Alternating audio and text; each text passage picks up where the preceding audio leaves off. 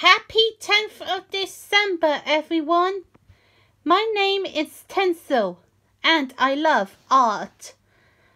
I love to paint pretty pictures and decorating presents with anything I can find, including tinsel, hence in my name. I love arts and crafts. I even help the other elves with their crafts.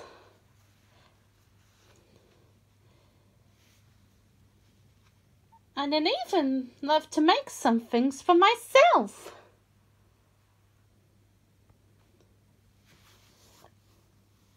Whenever something needs a bit of decorating, I'll always be there. I even love to customize the reindeer's harnesses before the big night.